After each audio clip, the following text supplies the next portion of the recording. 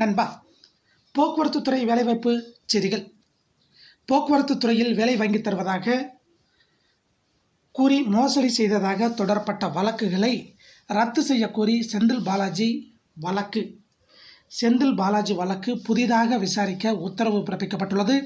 கடந்த அதிமுக ஆட்சியில் போக்குவரத்து துறை அமைச்சராக இருந்த செந்தில் பாலாஜி அவர்கள் பல்வேறு நபரிடம் வேலை வாங்கி தருவதாக மோசடி செய்ததாக தொடரப்பட்ட வழக்குகளை அவர் ரத்து செய்ய கூறி வழக்குகள் தொடர்ந்திருந்தார்.